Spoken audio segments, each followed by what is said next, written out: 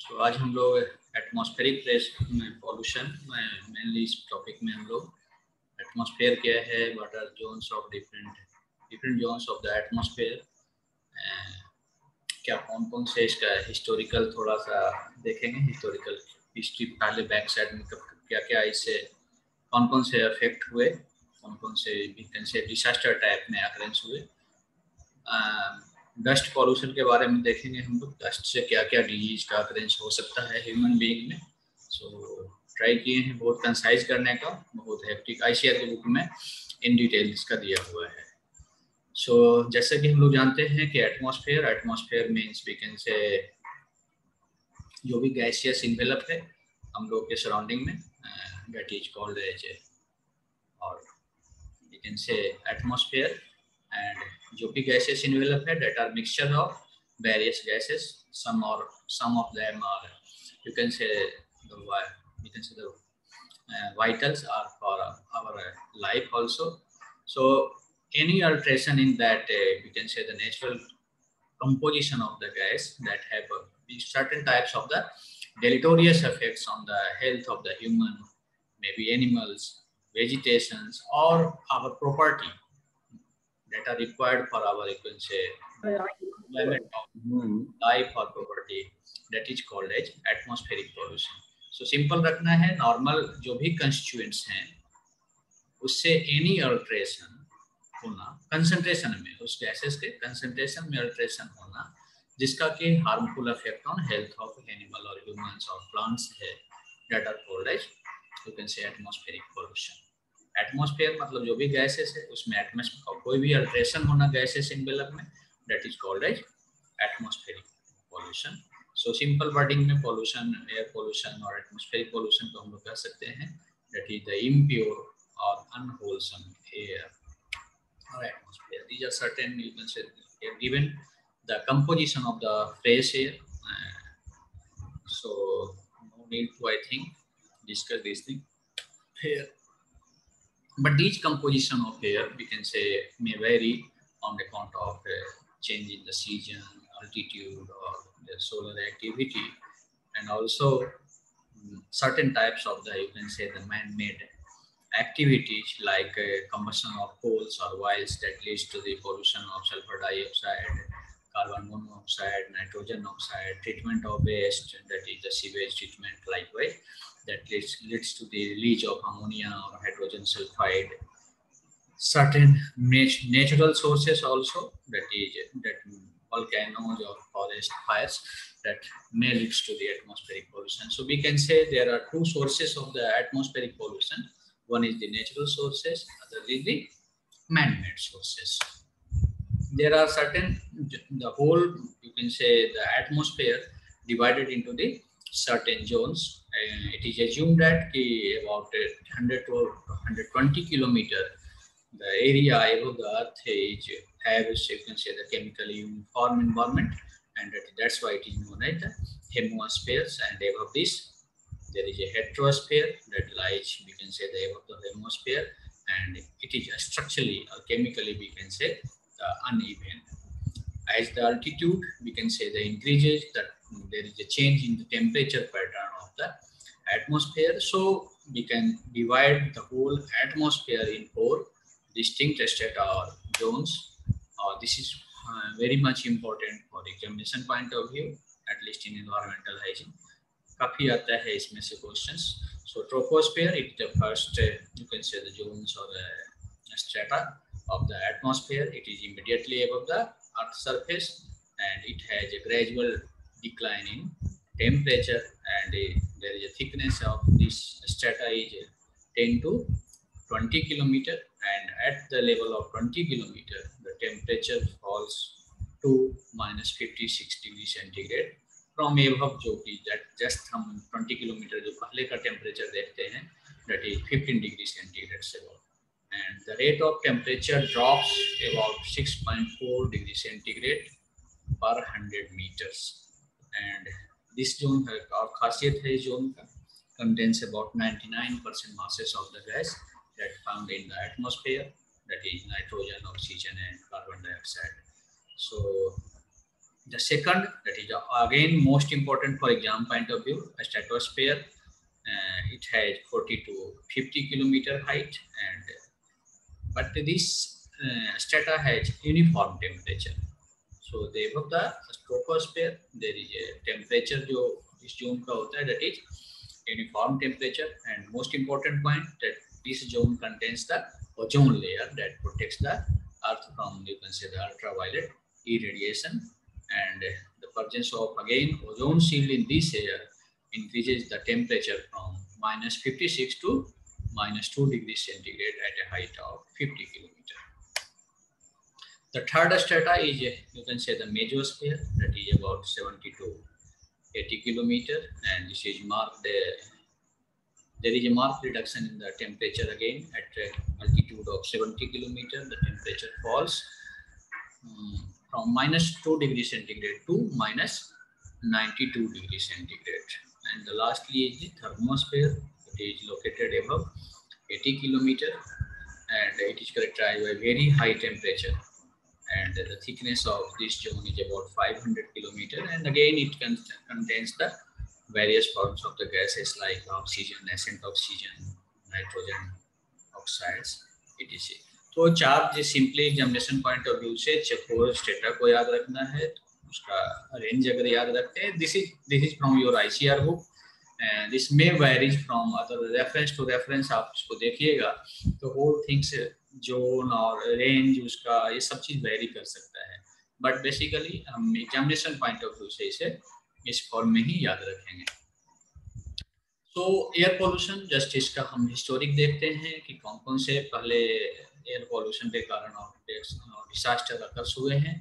And क्या कौन कौन से केमिकल कंस्टिट्यूएंट्स के मेजर कंपोनेंट थे? जैसे Meuse valley that is Belgium में हुआ था यहाँ दिसंबर 1930 में वी कैन से द पूरा फुल बेल्जियम पे एक फॉग का ब्लैंकेट चादर चढ़ गया था। That persist about the period of five days and इसमें about sixty percent more than sixty percent death हुए थे। एंड मेनली जो याद रखने वाली बात है दिस मोस्ट वैली जो भी डिसास्टर है और एयर पोल्यूशन के कारण जो वहाँ डिसास्टर अकर हुआ that is due to the of oxides of other metals other metals in the foggy atmosphere, or you can say the foggy blanket.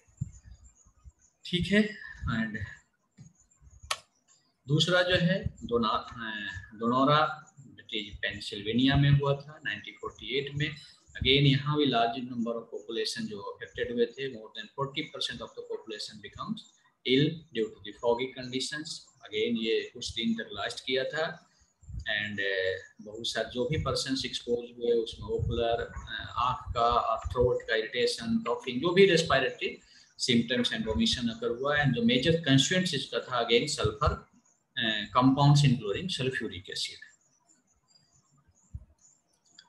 again London में बहुत सारे डिसास्टर हुए एयर पोल्यूशन के कारण ninety some examples here also given that in 1952 1962 में and major जो यहाँ इसमें कंपोनेंट थे एयर पोल्यूशन के that is the sulphur compounds like why New York में भी बहुत सारे हुए स्मोक के कारण. भोपाल में दैट इज़ इंडिया में एक मेजर डिसास्टर है इज़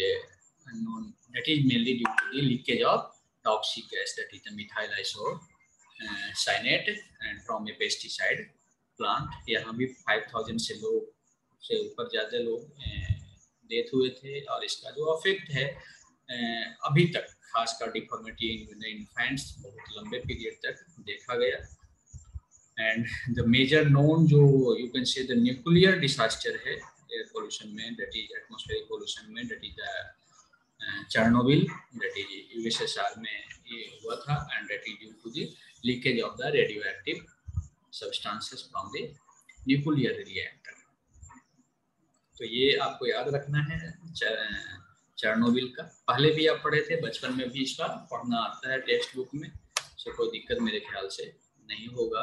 अगेन, बहुत सारे कोल्ड डस्ट एक्सप्लोजन के कारण चाइना में, इंडिया में, फॉरेस्ट फायर्स के कारण, एशिया में, साउथ ईस्ट एशिया में बहुत सारे डिजास्टर हुए। एक लॉस एंजल्स में है, कैलिफ़ोर्निया में। ठीक है, इसमें भी जो भी पे इसका disaster occurring हुआ that is due to the presence of nitrogen oxides and hydrocarbon in the atmosphere that leads to the various types of the respiratory symptoms among the persons.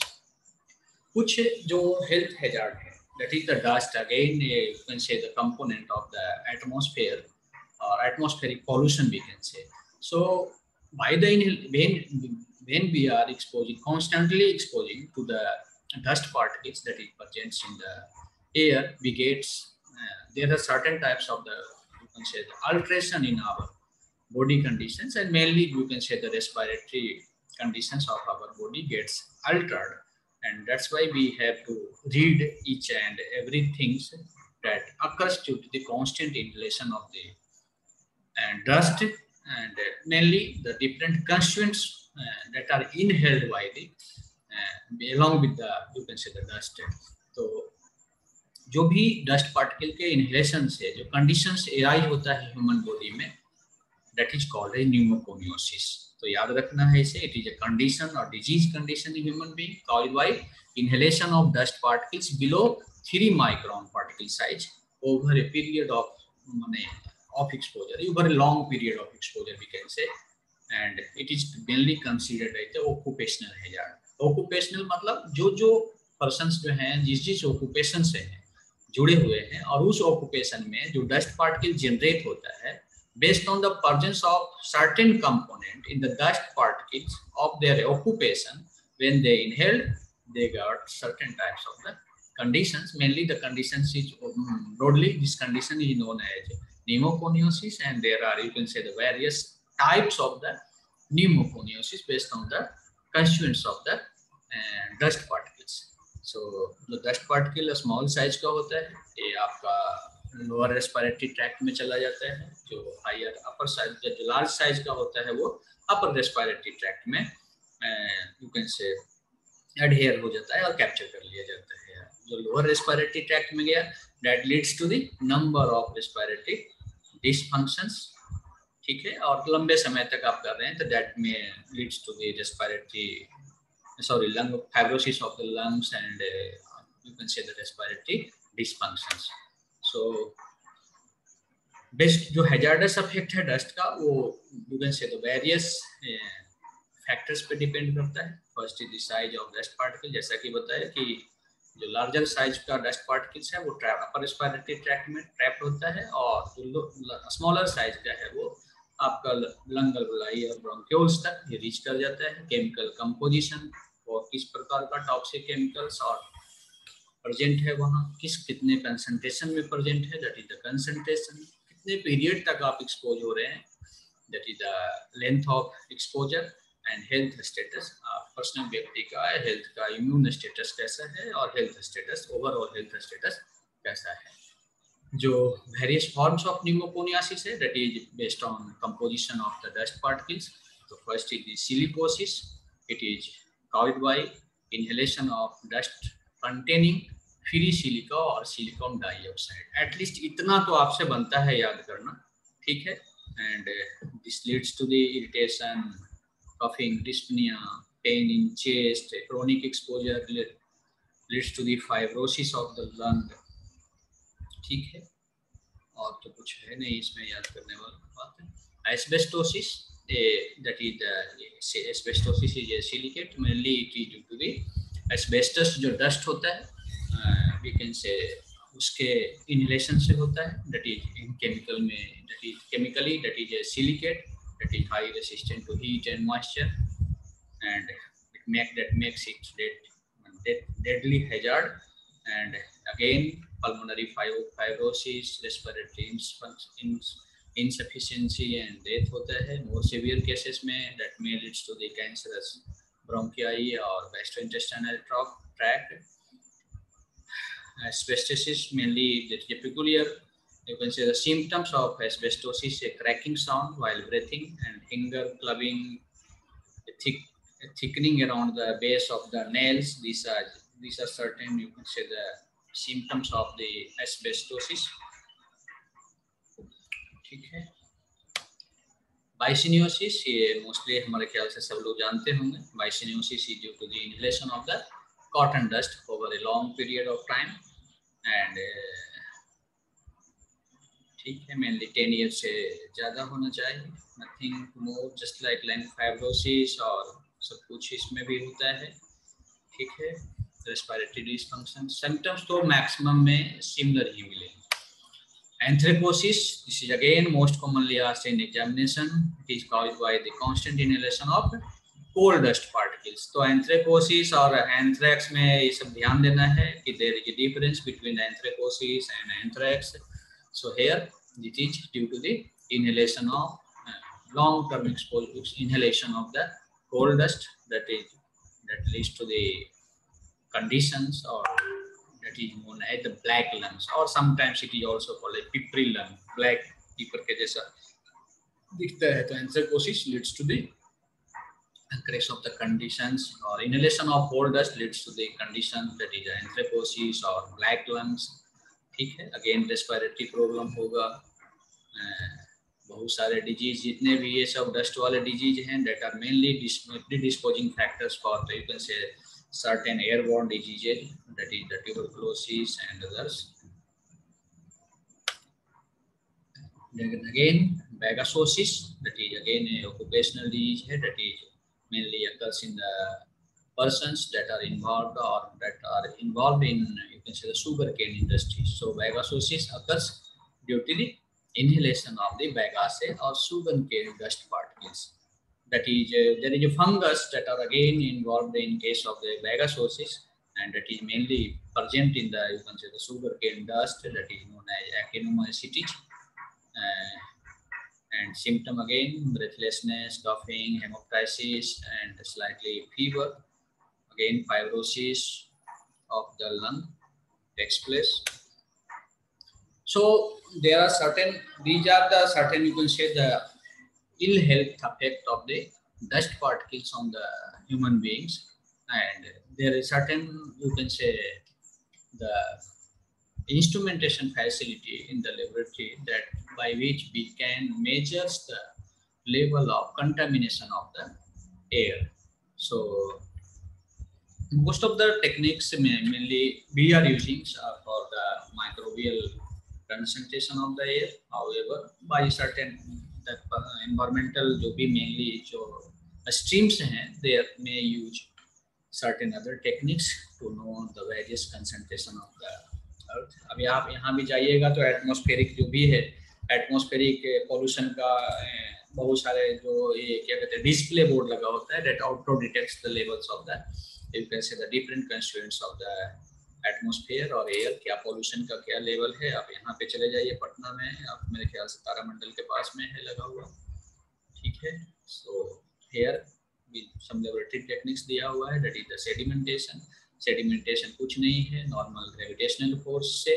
Generally हम लोग एयर में कितने microbial load present हैं, उसके लिए sedimentation technique का use करते हैं। मेनली अगार प्लेट इसमें यूज़ करते हैं that is non selective agar plates और उसको सेटल होने के लिए सर्टेन पीरियड ऑफ़ टाइम तक छोड़ देते हैं। देन आफ्टर इंक्यूबेशन हम लोग काउंटिंग कर लेते हैं। और कितना लोड पर एरिया के हिसाब से कितना लोड आता है वो हम लोग ये देख लेते हैं क्यूबिक मीटर के हिसाब से। सो so, सेकंड जो है इम्पैक्शन है। इसमें भी अगेन एयर एटमोस्फेरिक जो पार्टिकल्स है उसमें हम लोग अगार सरफेस पे कलेक्ट करते हैं। मे बी सॉलिड अगार पे और सेमी सॉलिड अगार पे। और एयर को सेंट्रीफ्यूज करके उस पर जो एयर है वो स्लाइड आप उस पर डिपोजिट करते हैं और उसको फिर आप मे बी फनल टाइप है और स्लिट सैम्पलर्स है, ये सब एयर क्वालिटी को टेस्ट करते हैं और उसके बाद उसको इंक्यूबेट करके आप काउंट कर लेते हैं। इम्पेंजमेंट है, इसमें भी आप एटमोस्फेरिक पार्टिकल्स को किसी भी लिक्विड मीडियम में कंटेंट करते हैं। जैसे आप यहाँ देखिए इम्पैक्शन में आप सॉलिड और सेमी सॉलिड आकार पे कंटेंट कर रहे थे हेयर इम्पेंजमेंट में आप उसमें लिक्विड मीडियम में कंटेंट करते कलेक्ट करते हैं। और ठीक है माइक्रोबियल एयर भी आप इससे, इस फ्लूइड को एग्जामिन करके और total you can say count करके आप माइक्रोबियल लोड भी डिटरमाइन कर सकते हैं। प्रेसिपिटेशन है। अगेन इसमें प्रेसिपिटेट कराते हैं टू मेथड से। थर्मल प्रेसिपिटेशन मेथड दिया हुआ है। इलेक्ट्रोस्टैटिक प्रेसिपिटेशन मेथड दिया हुआ है। हम ये सब चीज़ों से अभी तक वाकिफ नहीं हुए हैं। कभी मुझे मौका नहीं मिला है। बट एज पर बुक किस इंफॉर्मेशन हमने यहाँ आपको प्रोवाइड करा दिया है। ठीक है? बट नॉर्मल प्रेसिपिटेशन का मीनिंग तो आपको नेक्स्ट दी फिल्ट्रेशन मेथड है। इसमें ये तो ठीक है, ये हम लोग यूज़ कर सकते हैं। कोई भी फ़िल्टर फ़िल्टर पेपर ले लीजिए। मोस्ट कॉमनली मेम्ब्रेन फ़िल्टर होता है, जिससे कि आप एयर को पास करा दीजिए। आप उसमें जो भी मेम्ब्रेन है, उस पर जो बैक्टीरिया और जो भी माइक्रो ऑर्गेनिजम्स है मोस्टली बैक्टीरियल माइक्रो ऑर्गेनिजम्स उसमें अटैच हो जाते हैं। फिर मैंने ऊपर में सीवो के ऊपर में ही रह जाते हैं मेम्ब्रेन पे। देन मेम्ब्रेन फ़िल्टर को आप अगार प्लेट पे लेके इंक्यूबेट करके काउंटिंग कर सकते हैं कि कितना number of micro organisms present है we have also air filtration agar वाला जो मेथड है we have you can say air filtration का इक्विपमेंट पड़ा हुआ है हमारे पास। हम लोग रेगुलरली यूज़ करते हैं to know the you can say the microbial quality of the airs का। हम आप लोग को इंट्रोडक्टरी क्लास में प्रैक्टिकल में दिखाए भी होंगे और जब आप आइएगा तो करना चाहिए तो करके भी देख सकते हैं उससे। दूसरा है सीव और कास्केड मेथड्स। इसमें भी बहुत ज़्यादा कुछ नहीं है। वैरिंग साइज़ का जो सीव होता है, उसको एक के ऊपर एक एक के ऊपर एक रख देते हैं। अगेन वो सेम सेम प्रिंसिपल है कि आप लार्जर पार्टिकल होगा, ऊपर ट्रैप हो जाएगा स्मॉलर पार्टिकल्स बॉटम पे ट्रैप होगा।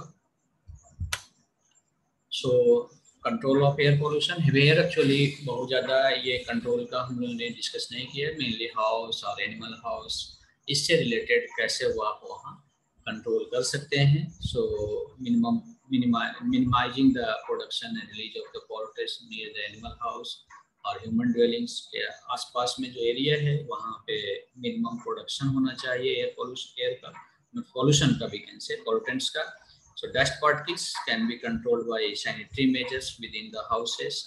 House के अंदर में sanitary measures करके एयर क्वालिटी को और वहाँ जो डस्ट पार्टिकल एटमोसफेयर में उसको आप कंट्रोल कर सकते हैं।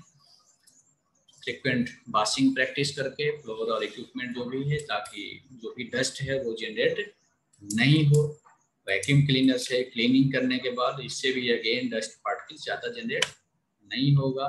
प्रॉपर वेंटिलेशन रख के, ताकि जो भी वहाँ एटलीस्ट हाउस के अंदर में जो गैसेस हैं और यू कैन से हजार्डस जो गैसेस जनरेट होते हैं, वो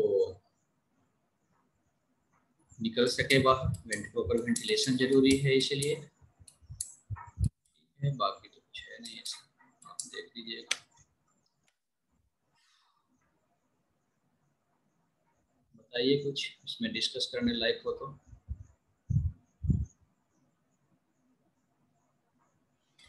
हम्म।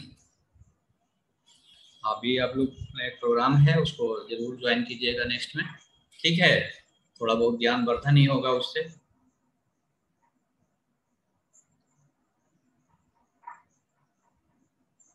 कोई कुछ नहीं बोलता है। लेक्चर करने का मन नहीं होता है क्या? हम्म? करेंगे सर ज्वाइन हाँ। कर लेंगे सर ज्वाइन ठीक है।